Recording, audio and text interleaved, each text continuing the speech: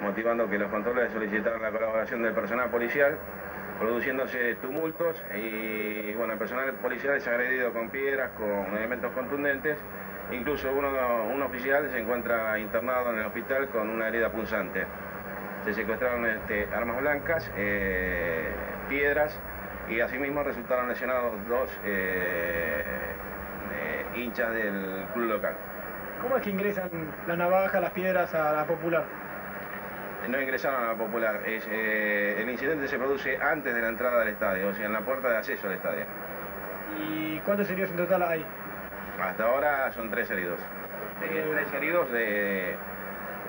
después hay personal policial golpeado. ¿Los incidentes en la popular a qué se debieron? ¿Cómo?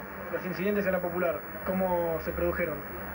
En la popular hubo corridas, no hubo incidentes. El incidente se desarrolló plenamente en la puerta 10.